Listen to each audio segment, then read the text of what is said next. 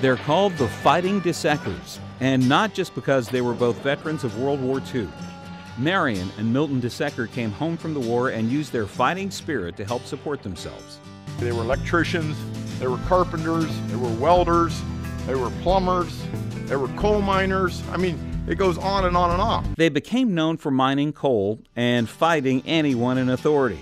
They bought and used obsolete equipment from bigger coal companies, modified it to their needs, and supplied coal to local schools, government, and other small operations. But they distrusted almost everyone.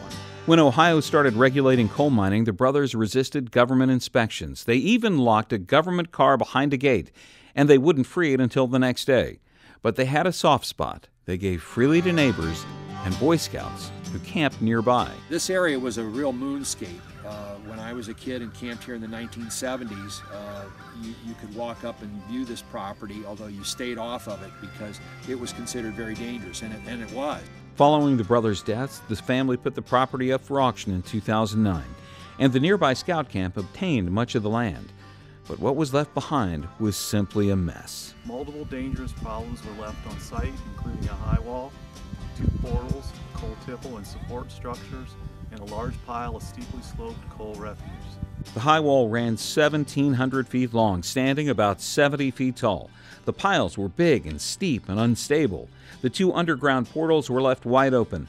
And then there was the garbage 25 tons of discarded tires and 500 tons of residential garbage and streams filled with acid mine drainage. The stream that came out of this area ran orange. For many, many years, it ran orange. One of the biggest obstacles to fixing the area was moving all the equipment.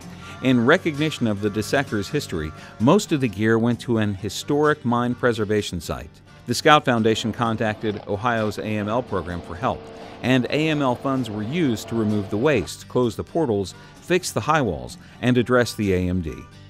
Today, the Dessecker site serves as both a Boy Scout encampment and an educational site, a pristine example of reclamation and restoration, and the winner of the 2019 National Award for Abandoned Mine Land Reclamation.